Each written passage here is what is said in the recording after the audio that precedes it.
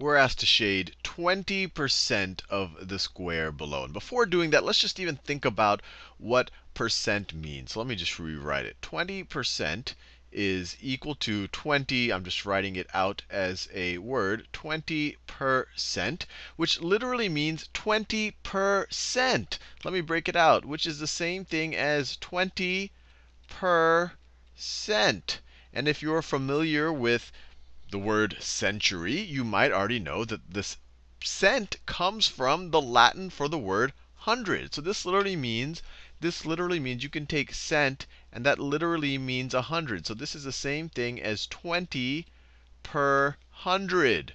20 per 100. 20% means you're really going to, we need, if we want to shade 20%, that means we want to shade if you break up the square into 100 pieces, we want to shade 20 of them. 20 per 100. So how many squares have they drawn here? So there's, let's see, if we go horizontally right here, we have 1, 2, 3, 4, 5, 6, 7, 8, 9, 10 squares. If we go vertically, we have 1, 2, 3, 4, 5, 6, 7, 8, 9, 10. So this is a 10 by 10 square.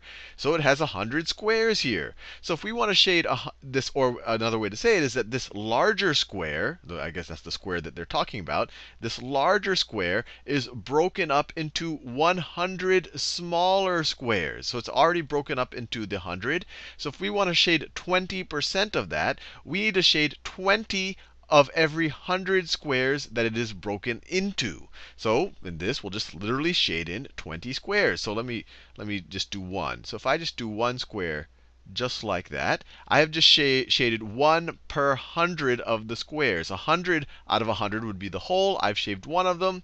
This would be that one square by itself would be 1% of the entire square. If I were to shade another one, if I were to shade that and that, then those two combined, that's 2% of the entire square. It's literally 2 per 100, where 100 would be the entire square. So if we wanted to do 20, we do 1, 2, 3, 4. Actually, if we shave this, if we not shave, if we shade this entire row, that will be 10%, right? 1, 2, 3, 4, 5, 6, 7, 8, 9, 10.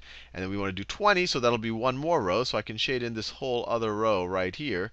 And then I would have shaded in 20 of the 100 squares. Or another way of thinking about it, if you take this larger square, divide it into 100 equal pieces, I've shaded in 100, or I've shaded in 20 per 100, or 20 percent of the entire square. Hopefully that, the entire larger square. Hopefully that makes sense.